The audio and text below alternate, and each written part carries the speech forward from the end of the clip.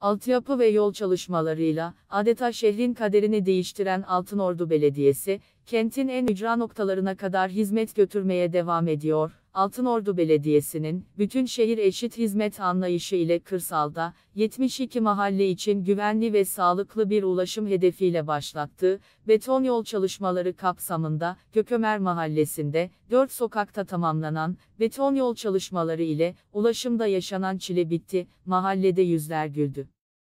Gökemer Mahalle Muhtarı Özkan e, Gündüz. Gökemer mahallemizde yıllardır kanayan ve bu sene tam 5 defa yaptığımız yolumuzu belediye başkanımızın e, yardımlarıyla e, yolumuzu şu anda işte yapıyoruz işte beton. Ve e, yağmurlar eskisi gibi yağmıyor. Ya afet şeklinde yağdığı için e, Taştek'ten Reşeli Düz bağlantı yolumuzu ve aynı zamanda yayla ve hürriyet yolu olduğu için beton işte yapıyoruz. Şu anda belediyemize çok teşekkür ederiz. Yani mahallem adına şey belediye başkanımız Aşkın Tören'e çok teşekkür ederiz. Allah razı olsun. Allah bin defa versin.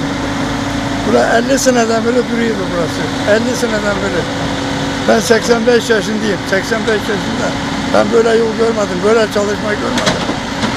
Bundan iyisi olmaz. Allah var etsin. Cenab-ı Allah var etsin. Sıkın başkandan Allah var etsin. Allah bin defa var etsin. Bundan iyi başkan olmaz. Yanına varıp ziyaretine gideceğim.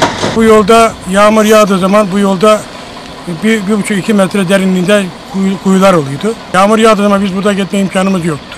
Aşkın tören başkanımız bunu Allah onu durdukça ömür versin. Allah ona ömrünü uzun etsin. Ondan Allah razı olsun. Bu buralara geldi baktı.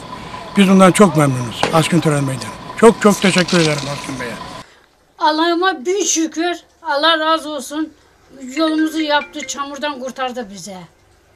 Aşkı tünelimize çok teşekkür ederim yolumuzu yaptırdığı için. Buradan çamurlu, yollu, yolumuz çok kötüydü. Aşkın törenimizden Allah razı olsun başkanımızdan. Bizi çamurdan, topraktan kurtardı.